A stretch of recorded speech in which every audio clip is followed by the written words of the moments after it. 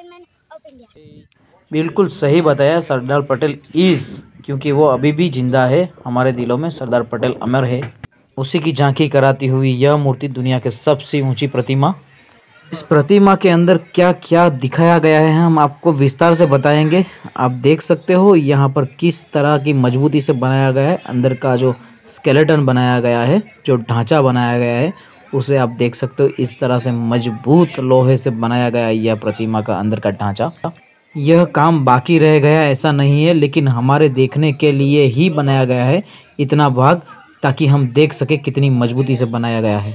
का मतलब यह नहीं कि प्रतिमा अधूरी है, और इधर हम देख सकते हैं, यहाँ पे सब जाली के पास में, देखिए, यहाँ से सब कुछ ऊपर से दिख सकता है, जैसे कि ये पर्वतमालाएँ है, दो पर्वतमाला है, विंध्याचल और कुछ सातपुड़ा, ऐसा कुछ पर्वतमाला का नाम है।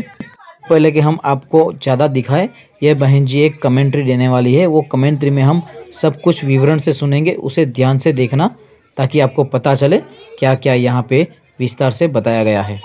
ये थोड़ा बाहर का नज़ारा है, इसके बाद कमेंट्री सुनेंगे। में आप सभी का स्वागत है।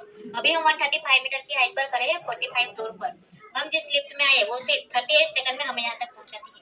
ये जाली वाला जो क्वेश्चन है, वो सरदार वल्लभ भाई पटेल का जैकेट है। जैकेट के दूसरे और तीसरे बटन के बीच अभी हम खड़े हैं। बीच में ये बटन पट्टी है, वहाँ पे आप ऊपर से सेकंड नंबर का बटन देख सकते हो राउंड से। और जाली के बाहर सोलर पर रखी हुई सॉल भी देख सकते हो दोनों तरफ़। बाहर का आवरण, पैरों से लेके सर तक पूरा ब्रॉन्ज है। 85 परसेंट कॉपर और 55 परसेंट लेड टीन और जिंक का इस्तेमाल किया गया है। साढ़े छह हज़ार से ज़्यादा प्लेटें लगाई गई है। हर एक प्लेट को नंबर दिया गया है येलो टेक इन फ्यूचर कभी कोई भी प्लेट डैमेज हो जाए तो प्लेट नंबर से दूसरी बनवा सकती है। सरदार वल्लभ भाई पटेल ने जो कपड़े पहने हैं, वो 1700 मैट्रिक टन के हैं। इसका कंस्ट्रक्शन एल कंपनी ने किया है लार्सन एंड टुब्रो ढाई सौ से ज़्यादा इंजीनियर और तीन हज़ार से ज़्यादा वर्कर्स ने मिलकर ये पूरा स्टेच्यू ऑफ़ यूनिटी का निर्माण किया है ओनली फोर्टी सिक्स मंथ में। और उसके आर्किटेक्ट है डॉक्टर नामवंजी सुथार जो महाराष्ट्र के रहने वाले हैं।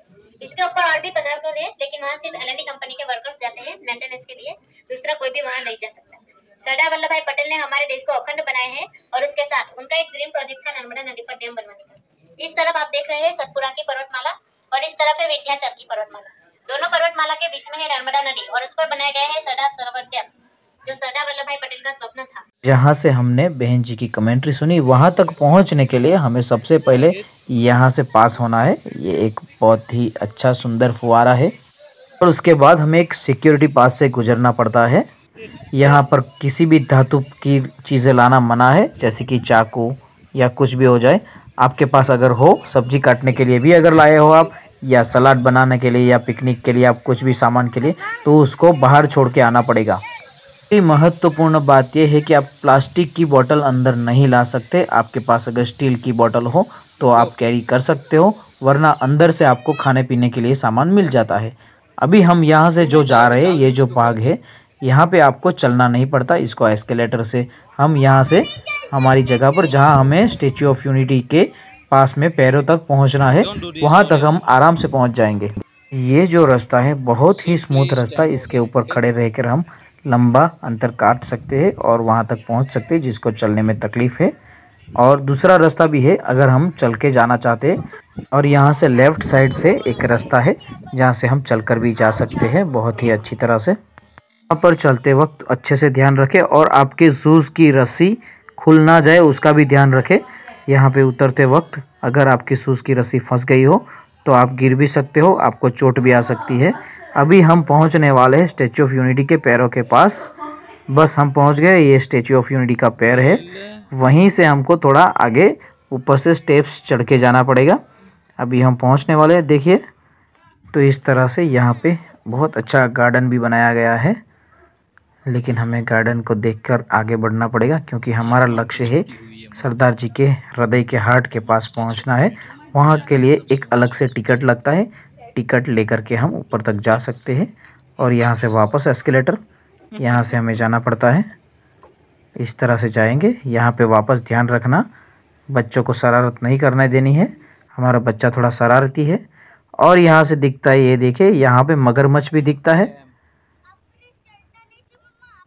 ये पास में ये नीचे मगरमच्छ था हमने जहाँ से देखा था लेकिन वीडियो में अभी नहीं है हमारे पास। इस तरह से हम बिल्कुल पहुँचने वाले हैं। स्टेचू ऑफ़ यूनिटी के पास।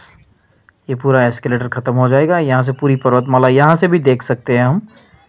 उसके लिए ऊपर तक जाने की टिकट नहीं लेना हो तो आप यहाँ से देख सकते हो और आपका जो भी सीन है वो आपके कैमरे में कैद हो सकता है। जो दिख रहा है ये सरदार सरोवर डैम है उसकी झांकी आप यहाँ से भी ले सकते हो।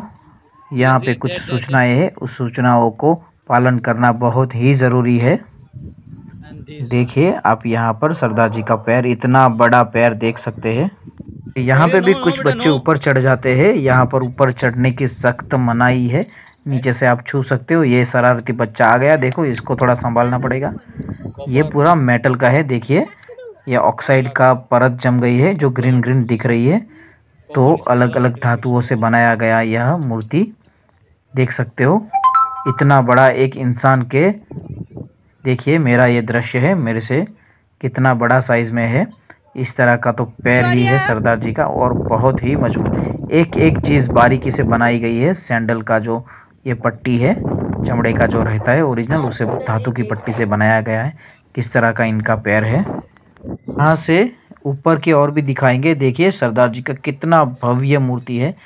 सरदार जी के माथे तक हम देख भी नहीं सकते। गगनचुंबी ये जो प्रतिमा है, देखिए किस तरह की। ये प्रतिमा देखते ही हमें पता चलता है, इनका भव्य स्वरूप को